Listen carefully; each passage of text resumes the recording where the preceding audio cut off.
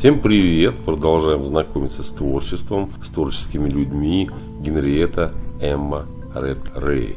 Британская художница поздней викторианской эпохи, специализирующая на классических, аллегорических и литературных сюжетах. Ее самая известная картина «Дама с лампой» с изображением Флоренс Найтингейл. Родилась 30 декабря 1859 года в Лондоне в семье Томаса Рэя, государственного служащего и Рэй в девичестве Грейвс, которая обучалась музыке у Феликса Мендельсона. У нее было три брата и три сестры.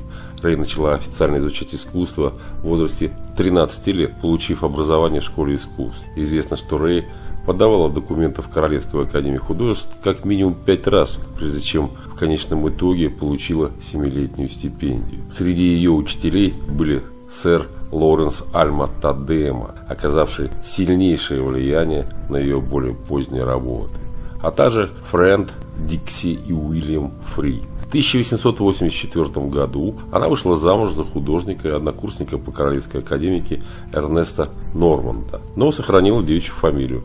Это был выбор, который в то время считали необычным, потому что она уже начала укреплять свою репутацию художника будучи частым участником ежегодной выставки Королевской академии с 1881 года. Я цитирую Википедию. Вместе с мужем проживала в Холланд-парке. Частыми посетителями был Лейтон, Милли, Принцет и Уотс. Супруги отправились в Париж в 1890 году, чтобы учиться в Академии Жулиана у Жуля Лефевра и Жана Бенджамина Константа. В 1893 году переехали в Апер Норвуд, студию, построенную по заказу отца Норманда. У пары было двое детей, сын и дочь.